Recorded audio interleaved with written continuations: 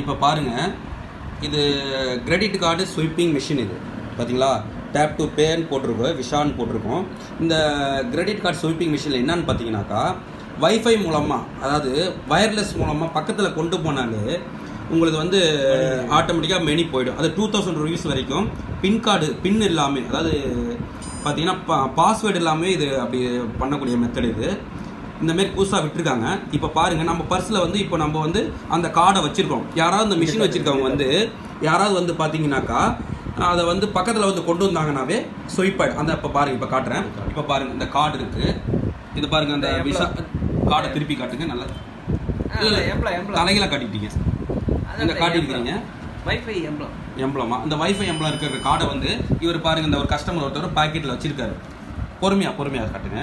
இப்போ பாக்கெட்டில் வச்சிருக்காரு பாருங்க உங்க பாக்கெட்டில் வச்சிருக்காரு. இப்போ வந்து இந்த இந்த ஸ்வீப் மிஷினில் இவர் என்ன பண்ணுறாருன்னா இவர் வந்து பார்த்தீங்கன்னா நூறுரூபான்னு போடுறாரு. நூறுரூபான்னு போட்டு ஓகே கொடுத்துட்டு அந்த ஸ்வீப் கார்டு மிஷினை அந்த பாக்கெட்டுக்கிட்ட கொண்டு போகிறார் பாருங்க. பாருங்க உடனே ஸ்வீப் ஆயிடுச்சு. அப்ரூவல் ஆயிடுச்சு. அப்ரூவல் ஆயிட்டு உடனே பிரிண்ட் அவுட் வந்துடுச்சு பாருங்க. இது வந்து உண்மை. இந்த உண்மையை வந்து நீங்கள் எல்லாருக்கும் ஷேர் பண்ணணும். இதை வந்து நீங்கள் பார்க்கணும் பாருங்கள்